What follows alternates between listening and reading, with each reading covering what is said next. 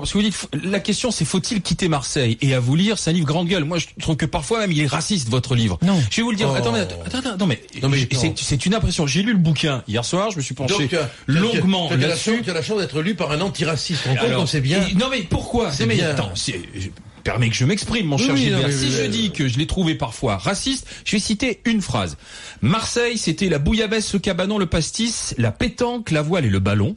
C'est devenu le couscous, le manioc, le voile, la mosquée, la CAF, le rap et le RSA. Voilà ce que vous écrivez, José Parce que, parce que je me rends compte, si vous voulez, qu'une grande partie des quartiers nord de Marseille euh, est en train de basculer sous l'emprise et le prosélytisme des fanatiques de la soumission. Marseille, actuellement, euh, c'est une menace qui pèse sur elle, euh, risque, euh, comment dirais-je, de basculer euh, sous l'emprise du salafisme et des islamistes radicaux. Pourquoi je dis ça? Parce que, vous ne le savez peut-être pas, mais dès, dès tentatives d'attentats ont été déjouées sur Marseille, grâce à Dieu.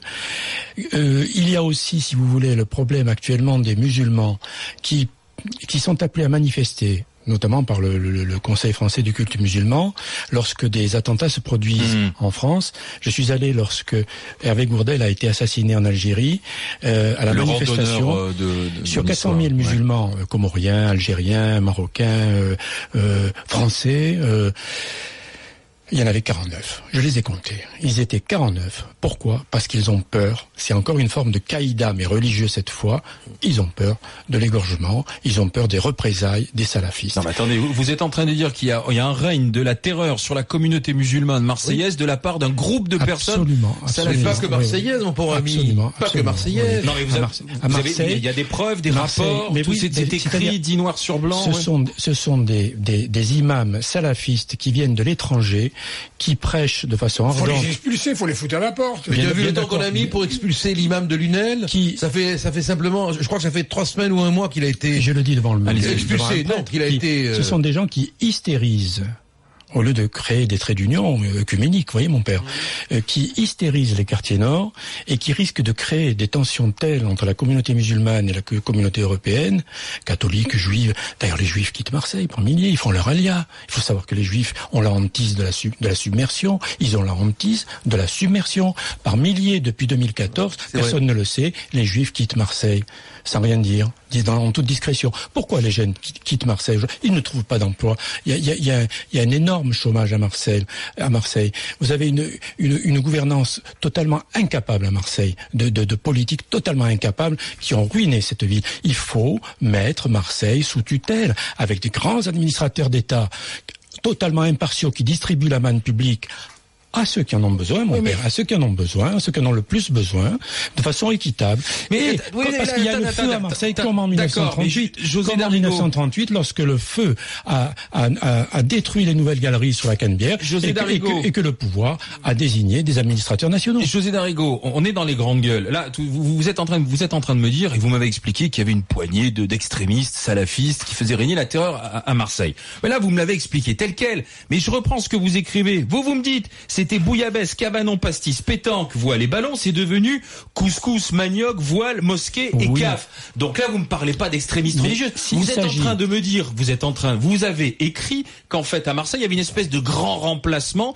qui était en train de se mettre en place et que le Marseille de Pagnol, c'était fini et qu'aujourd'hui on était dans le, C'est la c'était réalité. l'avènement du Marseille lorsque vous couscous croisez, musulman. C'est- lorsque vous voilà, croisez des que je vous femmes, dis, des femmes euh, dans les quartiers nord qui sont déguisées en Belphégor, vous croisez des femmes euh, Belphégor, ce qu'on appelle nous les Belphégor à Marseille, ce sont les femmes totalement voilées, vous voyez, où- dont on voit à peine, à peine un regard ou le- les yeux comme ça.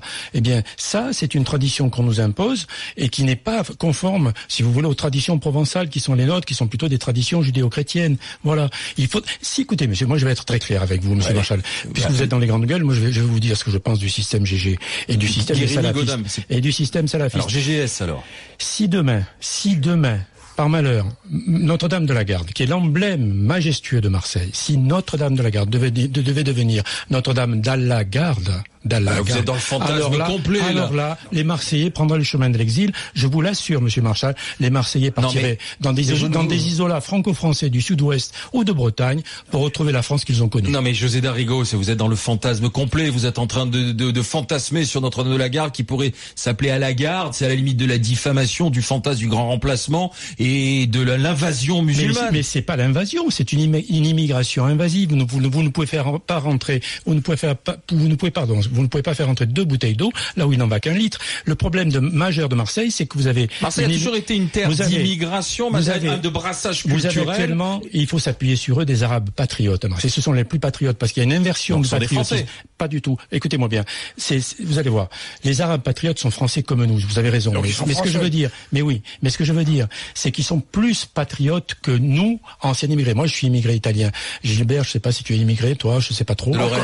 De Lorraine, de Lorraine. Je sais pas. Enfin, il y a beaucoup d'immigrés à Marseille. Les, les Grecs, les, immigrés les Italiens, immigrés du Gard. les Espagnols, les Arméniens se sentent de moins en moins français, alors qu'ils ont été passionnément français. Mon père était passionnément français. Je le suis euh, de moins en moins. Pourquoi? Parce que je me sens On n'arrête pas de dire fier d'être Marseillais Je à me- Marseille. je me sens quelles que soient les comme- couleurs de peau et milliers quelles que de soient les, confessions. Comme des milliers de Marseillais, je me sens de plus en plus étranger à ma terre, parce que je me sens, si vous voulez, étranger à toutes ces traditions, à toutes ces traditions qu'on souhaite nous imposer et qui n'ont rien à voir avec Marseille, rien à voir avec les catholiques, rien à voir avec les juifs, rien à voir avec les protestants, rien à voir avec les bouddhistes. Voilà. Jacques, Si, mais quand même. comprendre que ce système clientéliste, euh, il a souvent été dénoncé. Ça a d'ailleurs valu euh, des ennuis à quelques responsables socialistes lorsqu'ils ont essayé de, de s'y attaquer. On se souvient notamment d'une visite grande gueule d'Arnaud Montebourg sur place, Absolument. ce qui ne lui a pas valu que des que des amis hein, du côté de, de Marseille.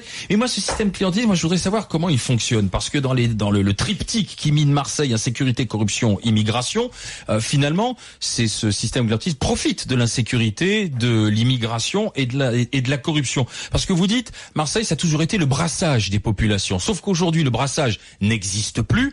Ce sont des strates ethniques qui cohabitent. C'est-à-dire, Marseille est devenu non pas un ensemble de communautés, de communautés qui vivent ensemble, mais plutôt qui vivent chacune de leur côté. Elles vivent dos à dos, alors qu'elles ont vécu côte à côte longtemps. Hein. Euh, ces vagues successives d'i- d'immigration ont transformé, Marseille en, en machine à intégrer. Marseille a toujours été, une, vous avez raison, une machine à intégrer formidable d'ailleurs, et puis il faut s'en féliciter. Mais la saturation est arrivée. Les Roumains, les Turcs qui arrivent en masse, tous ces gens, Donc ces là, clandestins. Monsieur Maillot, savez-vous que les clandestins marocains, moi j'appelle pas les migrants, j'appelle les clandestins marocains et les clandestins algériens se battent tous les soirs euh, dans le quartier Noailles à coups de sabre pour euh, conquérir le trafic des cigarettes.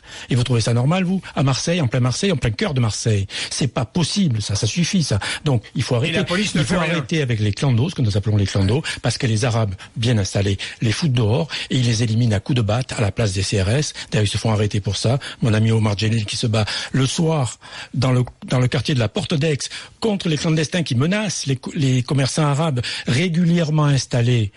Avec, avec leurs produits de vol et leurs butins, et qui leur promettent de leur mettre le feu s'ils les laissent pas s'installer devant, tous ces gens-là, il faut les, mais il faut, il faut les neutraliser. Mais la police, quel est son rôle? Parce que vous, vous l'évoquez, cette Mais elle police est justement absente, dans, monsieur dans, dans- Marchal, dans- elle est absente, il y a- elle est vous- absente. Vous la parlez de la brigade anticriminalité, vous parlez des CRS, vous parlez des gendarmes Il y a, aussi il y a dans, des dans préfets musclés, c'est arrivé. Je parle des CRS et des gendarmes parce que ce sont euh, les forces de police qui, éventuellement, si l'apocalypse devait se produire à Marseille, si des affrontements ethniques devaient avoir lieu, si une guérilla urbaine devait se déclarer à la suite de certains attentats, Oui, eh non, bien à ce moment-là, ce sont les gendarmes et les CRS qui seraient à même de défendre la ville et de, de lutter contre les encapuchés, hein, ceux qui sont là et qui sont oisifs et qui qui, euh, qui, qui trafiquent, quoi. Voilà. Hum. Tu vois, moi, bon.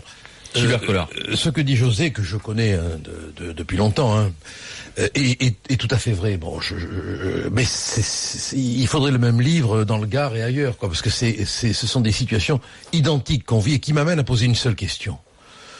Comment expliquer, alors que je sais que ce que tu écris est vrai, parce que je l'ai vu, on n'est pas obligé de me croire, je l'ai vu, je sais, les, les scènes que tu décris, on me les a racontées, j'en ai vu. Je sais parfaitement qu'on n'entre pas dans une cité sans passer par le contrôle. Bon, tout cela est vrai. Pourquoi la presse n'en parle-t-elle jamais On parle régulièrement, on a fait des, des dizaines toi, de sujets dans les GG, nous ici. Mais il y a eu des reportages, Euh, Gilbert. mais je lui pose- il y a, il y a eu des compléments d'enquête, des reportages. Tout ceci. Non, mais vous permettez, je lui pose une question Attends, sur la presse oui, de mais- M. Bernard Tapie, j'ai le droit Oui, bon, Gilbert C'est pas de vous que je oui. parle. Arrêtez, arrêtez d'avoir Mais comme La presse ça. Bernard Tapie, c'est la Provence, c'est ce la- que tu la- dis. Arrêtez d'avoir la susceptibilité à fleur de peau. Oui, c'est ce que je dis. Non, mais Absolument. là, voilà, là, je pose une question sur Je, la. je pense qu'il faut pas être injuste. Il faut pas être injuste avec les journalistes de Marseille. Je crois qu'ils font ce qu'ils peuvent dans un milieu très difficile. Et, et, contre- et contrairement à ce que tout le monde imagine, Bernard Tapie laisse une liberté totale à ses journalistes. Oui, lui, qui, On me l'a dit, on lui qui déteste les journalistes, qui les traite comme des serpillères, eh bien, il les, il ne les maltraite pas du tout, puisque là, il leur laisse, il les laisse s'exprimer librement.